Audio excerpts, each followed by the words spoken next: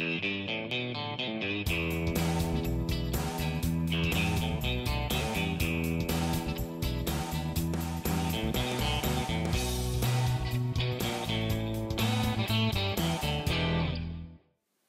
YouTubers, Harry Houdini here, down under in Australia.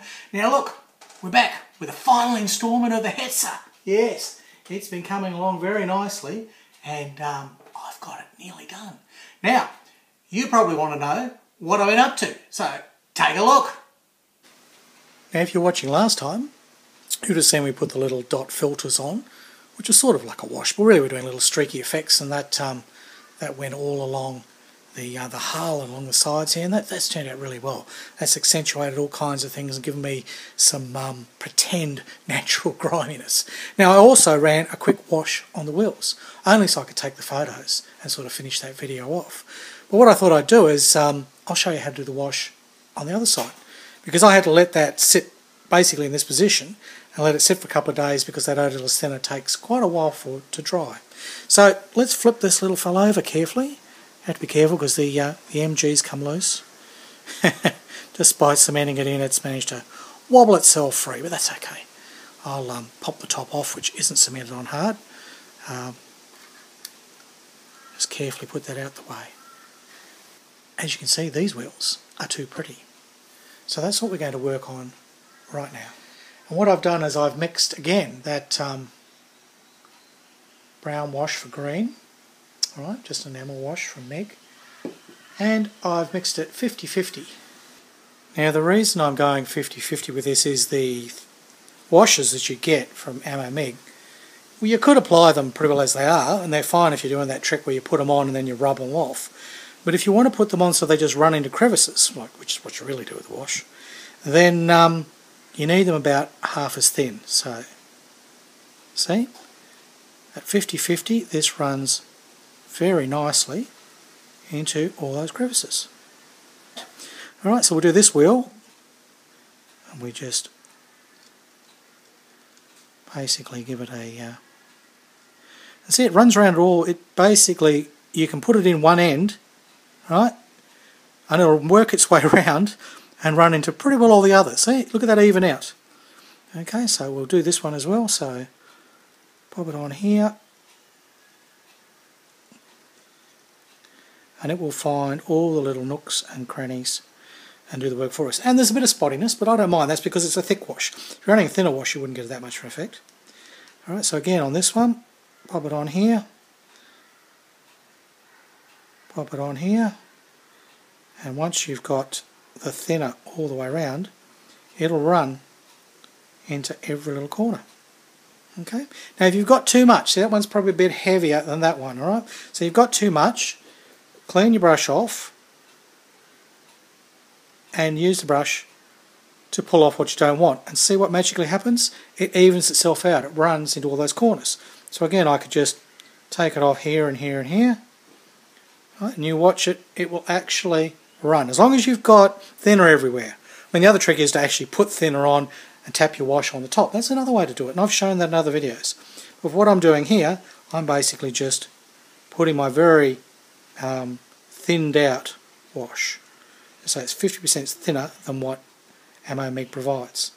So again, there you go, and just a touch more on this side, and it'll naturally start running and evening itself out all the way around.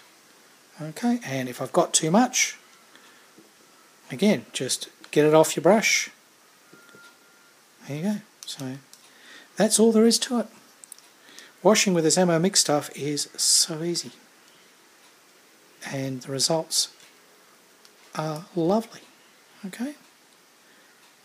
And I can mess around and get a patina that I want on the other parts.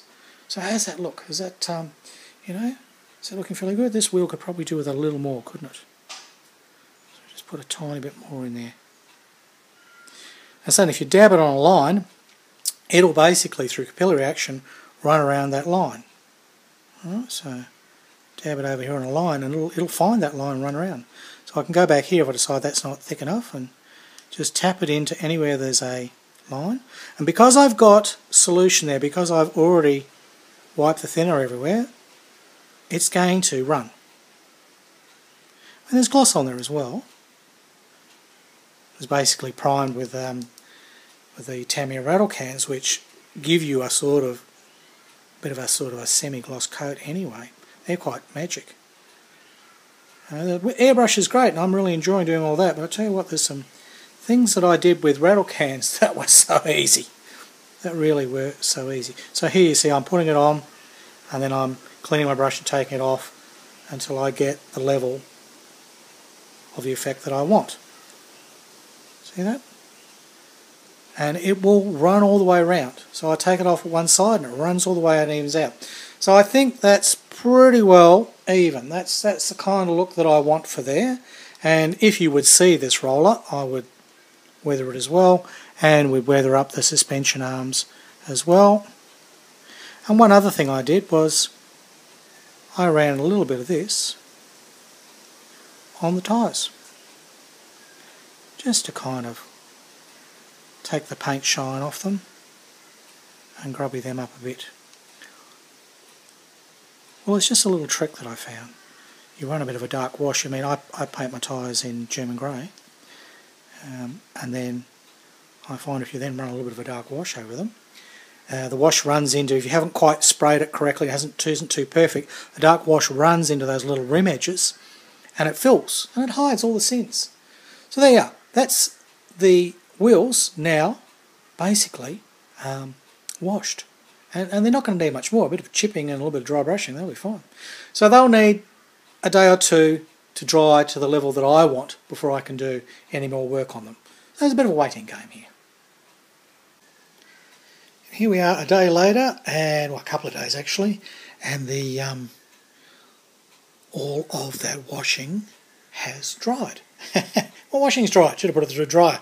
Uh, that wouldn't work. Imagine putting this in the dryer. It'd be a bloody awful mess. Now, uh, one thing that I wasn't happy about is um, the little hatch that was on the top here. It was kind of boring, and I actually had a couple of injector pin marks. I thought I'd um, sand it out, and they're still showing, and it really didn't look very nice. So I found some photos of what the real hatch looked like on this Hetzer, and then I added some photo etch like this. These were just bits I had lying around um, off other builds and a couple of pieces left over in this build that I didn't use. So I popped that on and gave it a quick coat of uh, German Cremeweiss, which in my case is just a racing white Tamiya. Sorry, my hands are wobbly. And I've actually got a little handle on there and a little bit of detail and that's quite spiffy. So there you go. I also reduced that edge, took that back a bit. It um, This hat should sit down and just miss that little knobbly bit. So I resized it, reshaped it, and here it is. So let's um, let's pop her in and um, see how it's going to look. That should fit exactly there. There we go. So that's going to fit exactly where it should. It's now the correct colour. Tomorrow I'll put a little wash on that. It'll take like two seconds. Put a tiny little uh, dark wash on that and I'll be able to dry that very quickly because I won't put much on and I won't use any odorless thinner. I'll just quickly uh, put a very thin amount on there and that, that'll be done. But um, what we need to get on with is just a little bit of chipping. It doesn't need much. And in fact, it doesn't need much mud either. I'm pretty happy with everything the way it is. I have gone around and added a little more um, of wash while I was doing those wheels. I went and added a bit more in crevices and everything. And I'm, I'm very happy with the overall look that I've got for this Hetzer. So I'm going to leave it at that. Now another thing that I didn't really like in the kit were these tow cables. They were just basically pieces of cotton now the hooks are quite nice on them, but this stuff just doesn't seem to cut the mustard for me. I'm really not happy with it at all. So I invested in this aftermarket one, which gives you this lovely um, piece of copper, right, which you could probably rip out of somewhere else, you know. But but it's it's it's the right size to scale, and that's pretty well the size of a German tow cable. Now their little um, hookies, well, they're a bit ordinary. They're not as nice, and you'd have to um, you have to drill them out, which is going to be a bit of a tricky job for wobbly hands like me. So I'm going to do some surgery here and use the, um, the little hooks off here, which are great, and they're only got the cotton in there, so that should just basically pretty well just rip out. Look at that. Yeah, they'll just not much not much effort required there. I'll, I'll, do that off camera, but um, that'll just pull out of there, and um, luckily they had a little trough in them and so I'll be able to scrape that trough clean, get the copper in and bingo bongo, we should have some snappy tow cables. There, what do you think of that? That's a big improvement, isn't it? Doesn't look like bloody string now. See, there's um, there's the other one. They um, they've come up mighty. Be lovely if you just leave them looking coppery, but of course they wouldn't be. They would have been painted and um, they would have got dirty and grimy. So they're going to get some German grey in just a sec. Now, what we're going to do is, while they go and get painted, we're going to do a little bit of chipping, and we're going to use the sponge method. In the last series of videos on the BD7, you would have seen I used the hairspray technique for doing chipping, and that was pretty savage and it was really exciting. But we're just going to do some very subtle little chips with this. Now, all I've done here is my sanding sponges that I use. These are little sponges that I get from 3M, the sanding, they're absolutely brilliant. When I finish with them, I cut them up into tiny little pieces and then CA glue them onto the end of a toothpick, and that makes a little chipping rod. So I'll show you now how I use that to do just a little bit of subtle chipping. Now I've got some uh, Lifecolor paint here. This is like a um, German grey, it's fairly dark. It's part of the modulation set that I was using back on the Panzer II, and the Stug actually, yeah, one or the other. And um, I've already shaken it up and I've got a little bit in here, which I can wet my sponge. And then what you do is you get rid of, sort of like dry brushing, you get rid of most of it until it's really not too, um, too wet, because you don't want it wet. Then, let's see if I can tilt this up so you can see what's going on here. Right, you can see that? Yes. Then very carefully and very gently, you're just turning it constantly because you don't want the same thing. You apply some tiny chips. Alright, so let's I don't want much. My Rebel Hetzer is um, not too bad, Nick. So just a few little things. And this is adding to the wash, which we've already done. And that's just giving us a few little chippy bits.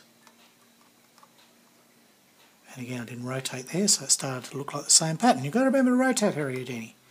You've got to keep rotating the whole time and using different corners of it. And there we go. There's um, just some very subtle chipping. And that's all I want.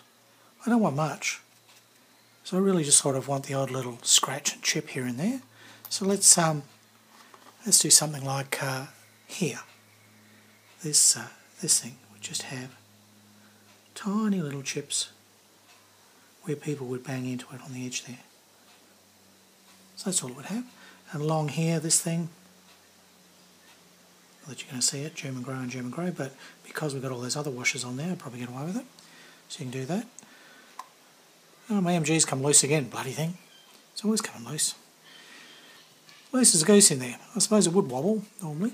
And um, we put a few little chips on the front plate here. Going for areas where there would be wear and tear. So this is sort of almost like dry brushing because we're using the minuscule, tiniest amounts of paint. Hardly any paint at all. And that's, that's the thing here. You don't want this to be very obvious at all. And this being a dark colour with a hole, you're really not going to see much of this. But it will be there. It's sort of a sort of thing that if you didn't do it, it'd be more obvious, everything would be too perfect. Alright, so this here, let me turn this so you can see, alright, this thing here has just had a wash on it, but it's um, still very clean. So what we'll do is chip its edge and chip its top. Okay, and these will probably show up better in the photographs later, but that tiny little bit of chipping really does make the difference. It um, it just breaks things up and it randomizes edges and things which otherwise may be looking a little too perfect after all the, the washing and everything. So it's a good thing about chipping. It's just sort of that final bit. It's the icing on the cake. Um, so here's another little thing here. Can you see this one? This is that little um, lunch box at the back there. Still don't know what goes in there. I imagine it's just their tools. And um, what we'll do is we'll just chip the places that would get wear and tear. You don't want to chip everywhere So just the edges that'll get knocked. And it's so tiny this. That's about all we need. That's all we need. I wonder if you can actually see that if I bring it up nice and close. There you go. So that just has tiny chips on it now. See? Just looks a little scuffed up, mucked up, exactly as a little box like that would be. Um, I'll get on with it, and then I'll get those um, tow cables out, assemble this all up, and we'll do the final reveal. And here's my Prague Hetzer complete. Three months work, and I'm pretty happy with that. I think it's probably one of the better AFV vehicles that I've ever made. And um, unusual sort of paint scheme. I mean, not much in the construction. It's a pretty basic kit to build, really. But the fun was sort of in getting those decals on and getting that interesting paint job without it looking too gaudy because it's sort of a lot of colours. Could look like Noddy's car. But I'm pretty happy with the result and how I've managed to get everything sort of weathered enough so it looks like it would have been roaming around the streets of Prague during the uprising. So there you go. I hope you like that. That is my Prague 38T Hetzer. I'm calling it done. Well, there it is. Hetzer's all done. And I'm pretty happy about that, yeah. Easy kit to build, only a few little things to look out for. If you look back at the earlier uh, episodes on this um, this series, you'll see uh, a few little tips and tricks that I pointed out, but not much. You can just build it out of the box, not a problem at all, really. No, it's a, it's a nice little kit, really. It's um, It goes together fairly well. The fun is all those bloody decals. They're so nice. And then, you know, playing around with this unusual rebel paint job. You know, those bloody rebels, they painted it up so gaudily. Uh, but I think I've done it justice. At least I'm happy. And, and that's what this modelling and, and this hobby is all about for me, right? Um, am I happy at the end of the day? Am I happy with what I did? And I am. I really am. So I hope this might encourage you to get on and build something of your own and just, you know, have a go and do whatever you want with it and enjoy what you're doing. Don't worry too much about the details and don't bloody count the rivets. Just have fun, enjoy your hobby, and then maybe you'll be as happy and smiley as I am. So there you go. Anyhow, I, um, I've got to wait back from the Riverside Scale Modelers to see how I went in the competition. Not that it really matters, but just it'd be nice if I won, wouldn't it? Alrighty, well that's it. Signing off on the Hetzer. Now I'll put a link on here on this YouTube video thingy uh, because I'll also do a whole lot of photos tonight and I'll post them up on Facebook and it'll be an album you can look at without a Facebook account. So you Facebook haters, don't stress. You can just have a look at those photos. Alright, well there you go. 500 damn subscribers now. I better start bloody pulling my finger out and up my game. nah, it's just doing the same old crap I always do. All right, oops, there you go. Nearly knocked me bloody model flying. There would have been tears. Okay, well that's it. That's all I can say. It's goodbye from Australia and it's hooroo from Harry Houdini.